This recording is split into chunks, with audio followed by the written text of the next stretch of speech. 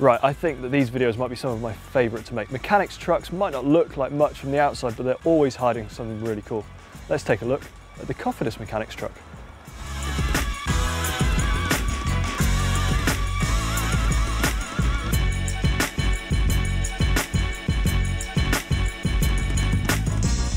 First impressions, loads of bikes, loads of wheels.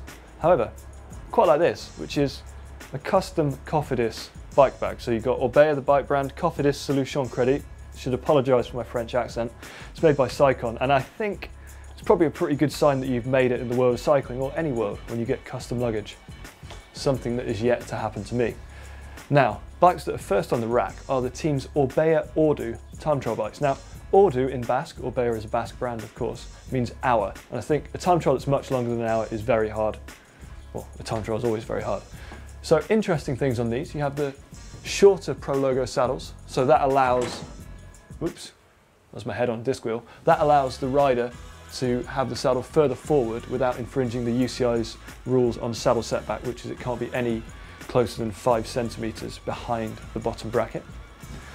Interesting use of grip tape. Now this, I reckon this must really hurt your hands, even though it is effective. So nearly all of the riders, as far as I can see, have it on the extensions, except for this guy here and this person even has it over the thumbs of the shifters.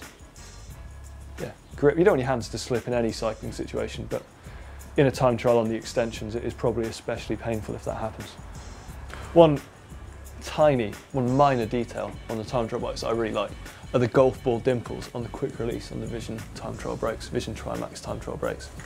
I think that's cool. It is attention to detail that makes the difference, for sure.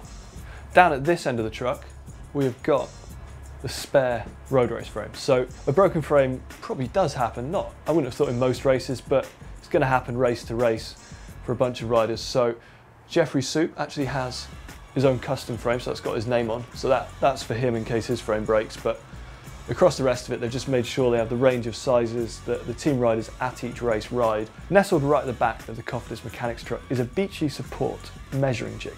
Why would they use that? Well, it's so that they can replicate a rider's position bike to bike with no issues.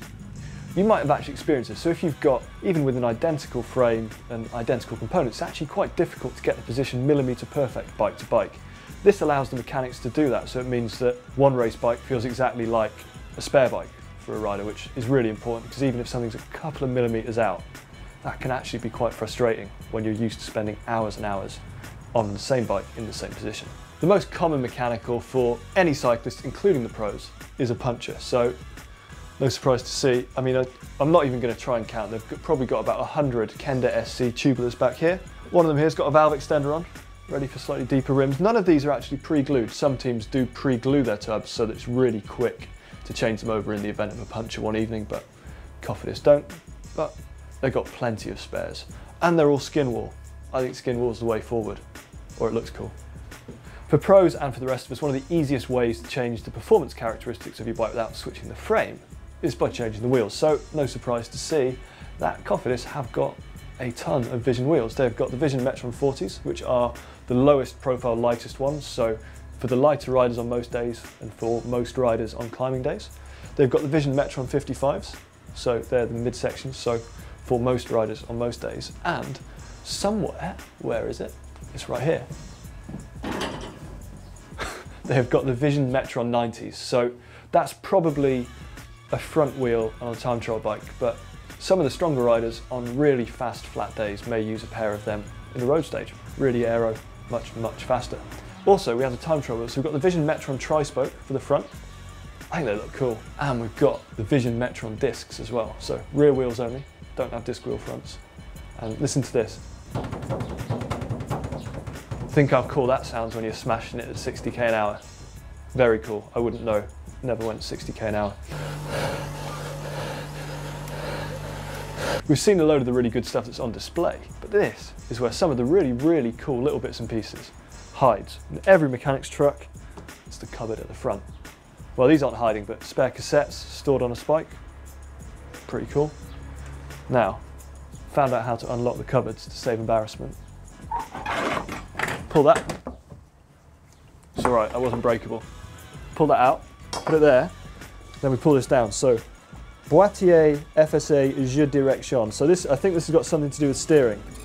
There it has. So we've got bottom brackets, got headset bits and pieces, dropouts, massive valve extender. What's this? I don't even know what that is. Put that back. All right. Patin de frein, chain repose mat. Now I know what this means. I think it's brake pads, chains, and bar tape.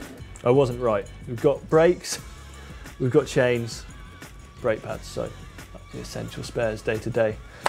Load of power links too. Not power links, load of quick links. I don't know what this means, so let's open it.